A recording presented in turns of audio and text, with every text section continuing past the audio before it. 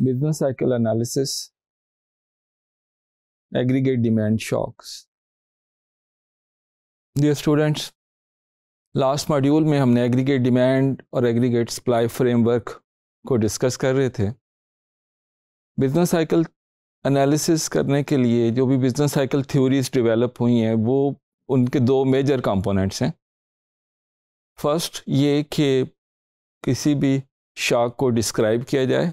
कि किस तरह के शॉक किस तरह इकोनॉमी को हिट करते हैं, कौन से शॉक्स होते हैं? और सेकंड ये कि ये बताया जाए कि इकोनॉमी उन शॉक्स को किस तरह से रिस्पॉन्ड करती है।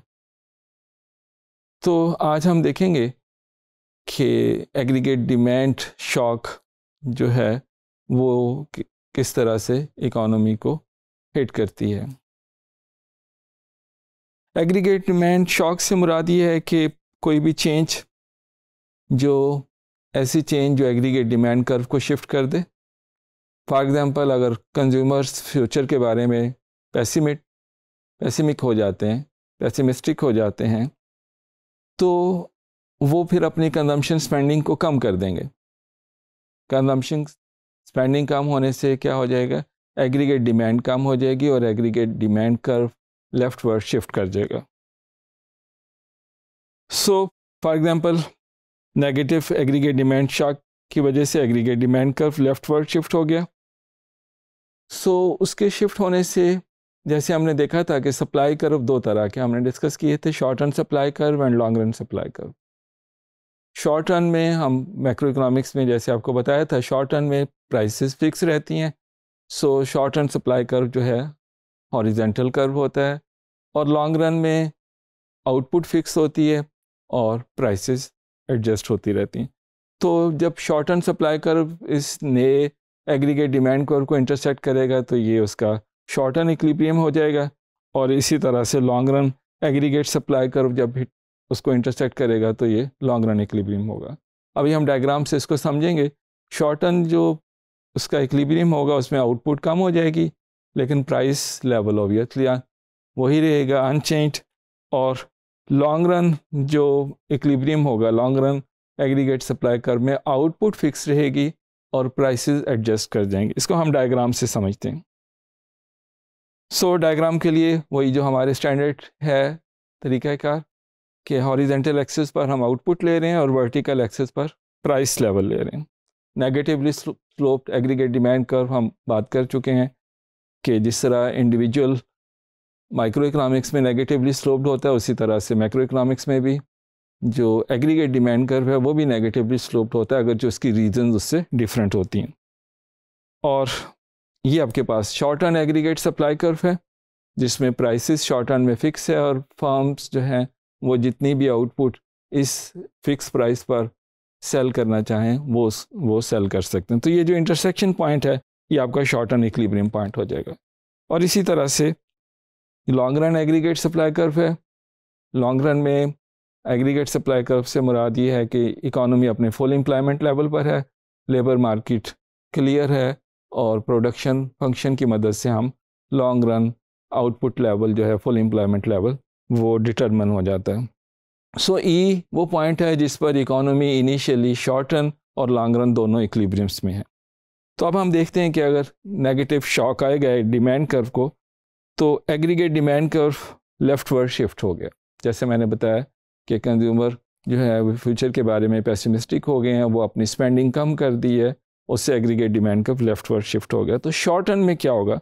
शॉर्ट टर्न में इक्लिब्रियम जो है, वो ई e से शिफ्ट होकर एफ़ पर आ जाएगा, क्योंकि एफ़ पॉइंट पर आप शॉर्ट टर्न एग्रीगेट सप्लाई कर और एग्रीगेट डिमांड कर भी एक दूसरे को इंटरसेक्ट कर रहे हैं। एफ़ पर क्या सूरत हाल है? आउटपुट लेवल कम होगी वाई से वाई टू पर आ गई आउटपुट लेवल कम होगी, लेकिन शॉर्ट टर्म में जैसे आपको बताया प्राइस वही फिक्स रहती है। प्राइस लेवल पी वन ही है आउटपुट कम होगी। लेकिन ये जो आउटपुट में कमी हुई है, ये शॉर्ट टर्म में है, ये ज़्यादा अरसे लॉन्ग रन में ये परसिस्ट नहीं कर सकती। क्यों नहीं कर सकती? कि इसलिए कि फॉर्म्स ने लॉन्ग रन में अपने जो नॉर्मल लेवल ऑफ़ आउटपुट है, उस पर उन्होंने ऑपरेट करना है। तो फिर क्या होगा लॉन्ग रन में? प्राइसेस एडजस्ट करना शुरू कर देंगे और प्राइसेस कम हो जाएँगी और उसके नतीजे में फिर एक इक्लिब्रियम लॉन्ग रन जो इक्लिब्रियम है वो एच पॉइंट पर आ जाएगा जिस पर एग्रीगेट डिमांड कर्व जो न्यू है शॉक के बाद वाला वो long run aggregate supply curve को इंटरसेक्ट कर रहा है। तो एच को अगर आप देखें तो एच पर क्या है? आउटपुट अपने पहले वाले ओरिजिनल लेवल पर वापस आ गई है और प्राइसेस जो हैं वो कम हो गई सो so, ये हो गया कि शॉर्ट टर्म में आउटपुट कम हो जाएगी इस नेगेटिव शॉक की वजह से लेकिन प्राइसेस ऑब्वियसली वही रहेंगी। लॉन्ग रन में आउटपुट ओरिजिनल लेवल पर वापस आ जाएगी और प्राइसेस कम हो जाएँगी।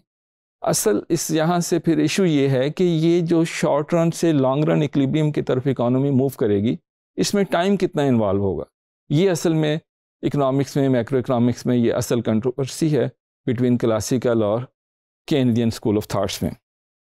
सो so, क्लासिकल के मुताबिक ये है कि प्राइसेस जो है वो बहुत क्विकली एडजस्ट कर जाती हैं।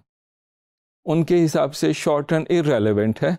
इकोनॉमी इमीडिएटली जब भी ये जैसे हमने देखा कि शॉक आया डिमांड कर्व को तो इकोनॉमी जो है वो इमीडिएटली अपने लॉन्ग रन इक्लिब्रियम पर चली जाएगी। बहुत क्विकली प्राइसेस एडजस्ट कर जाते हैं। ये क्लासिकल का पॉइंट ऑफ़ व्यू है। उनकी वो जो लॉजिक है इनविजिबल हैंड की, वो आप जानते हैं कि जी प्राइसेस जो है मार्केट्स क्लियर हो जाती हैं और प्राइसेस क्विकली एडजस्ट कर जाती हैं। सो so, जो रिसेशन था रिसेशन से मुराद क्या था? अभी हमने देखा कि शॉर्ट रन में इक्लिब्रियम जो हुआ उसमें आउटपुट कम हो गई थी। ठीक है आउटपुट कम होने से ज़ाहिर है अब और जो उससे रिलेटेड हैं चीज़ें एम्प्लॉयमेंट कम हो जाएगी और बाकी चीज़ें अफेक्ट होगी। तो वो जो रिसेशन था अकॉर्डिंग टू द क्लासिकल वो बहुत ही टेम्पोरेरी से शॉर्ट लिव्ड है।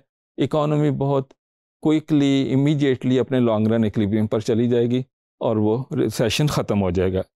रिसेशन ख़त्म हो जाएगा तो इससे वो ये भी नतीजा निकालते हैं कि गवर्नमेंट को फिर इंटरवीन करने की कोई ज़रूरत नहीं है। रिसेशन को दूर करने के लिए गवर्नमेंट को किसी किस्म की कोई पॉलिसी बनाकर उसको इंटरवीन करने की ज़रूरत नहीं रहती क्योंकि इकानमी ख़ुद ब खुद रिसेशन को इमीडिएटली कवर कर लेती है रिमूव कर देती है। जबकि Keynesian school of thought Keynesian theories उनका पॉइंट ऑफ़ व्यू ये है कि प्राइसेस जो हैं, वो इतनी इमीडिएटली और क्विकली एडजस्ट नहीं करती। वो बहुत स्लोली रिस्पॉन्ड करती हैं, बहुत स्लोली एडजस्ट करती हैं। और बाद का तो उनके मुताबिक ये जो एडजस्टमेंट प्रोसेस है, ये महीनों से सालों तक फैल जाता है। तो ज़ाहिर है, सालों तक अगर इकोनॉमी में रिसेशन रहेगा रिसेशन से मुराद क्या है कि आउटपुट अपने नॉर्मल लेवल से कम रहेगी। नॉर्मल लेवल से आउटपुट से क्या मुराद है? कि आउटपुट अपने फुल एम्प्लॉयमेंट लेवल से कम रहे। अगर कम रहेगी तो इसका मतलब इकानमी में बेरोज़गारी रहेगी और उससे अलाइड जो प्रॉब्लम्स हैं वो रहेंगे। तो इसके लिए ज़रूरी है कि फिर गवर्नमेंट इंटरवीन करे, ताकि इस रिसेशन को जल्द अज जल्द कम किया जा सके, इसको ख़त्म किया जाए। इस बिना पर वो ये समझते हैं कि गवर्नमेंट को इंटरवीन करना चाहिए। गवर्नमेंट को ऐसी पॉलिसीज़ डिज़ाइन करनी चाहिए जिसके नतीजे में ये रिसेशन जो है, ये जल्द अज जल्द ख़त्म हो जाए। तो ये एक बेसिक कंट्रोवर्सी है। इस पर हम फर्दर भी बात करेंगे। Thank you very much